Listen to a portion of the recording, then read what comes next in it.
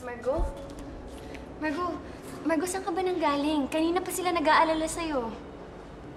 Talaga? Nag-aalala sila? Akala ko naman kasi, Celine, busy sila sa pag-aalaga sa'yo. Sorry ah, nainis ka ba dahil nawala yung attention nila sa'yo? Margo, bakit ba tuwing nagpapakita sila ng kabutihan sa akin, pinag-iisipan mo ng masama? Hindi naman ibig sabihin nun na mahal nila ako, eh hindi ka na nila mahal. At hindi rin ibig sabihin nun na may karapatan ka na para saktan sila ng ganito. Grabe.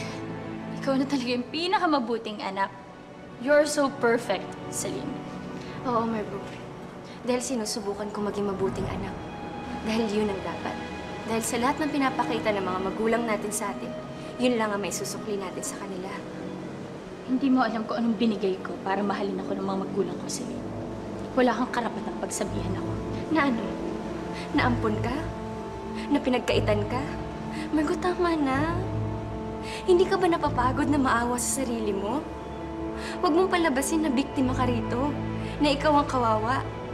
Dahil sa lahat ng pinagdurusahan mo ngayon, ikaw ang may gawa niya sa sarili mo. Hindi. Kagagawan mo to, Celine. Dahil ninakaw mo sa akin lahat. Lahat-lahat, Celine, ninakaw mo. Margo, wala akong ninanakaw sa'yo. Hindi ko kasalanan kung ako yung tunay na anak. Wala akong kinukuha sa'yo. Dahil kung ano ang meron ako ngayon, akin yun. Dahil marasigan din ako. Shut up. Shut up? Bakit? Masakit ba na marinig ka katotohanan, Marco? Siguro kailangan mo yung marinig ngayon para matauhan ka, para hindi mo Sabi ko, isip- shut up!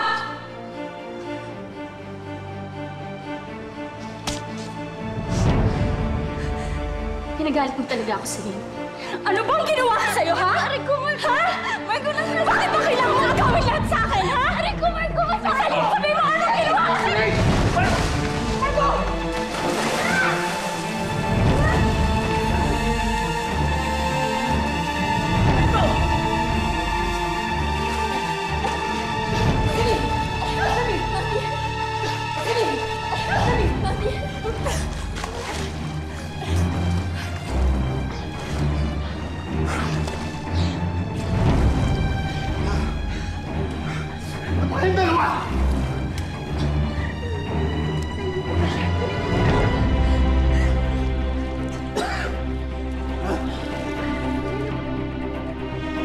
Hindi pa kayo titigil hanggat hindi kayo nagpapatayan?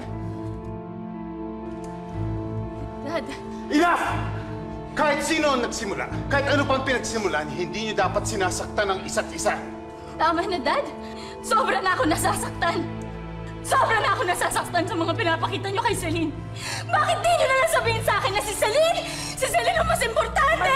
Si Celine ang mas mahalaga! Kasi yun lagi niyong pinapakita at sinasabi sa akin na pantay kami dahil kahit hindi yun yung nararamdaman ko! Mas matimbang si Celine, Dad! Marco, tama na! Wala akong kinukuha sa'yo! Kung gusto mo lahat to, sige sa'yo na!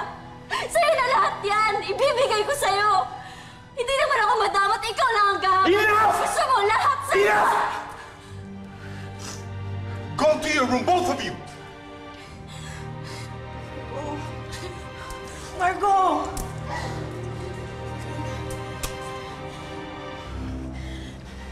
可以吗？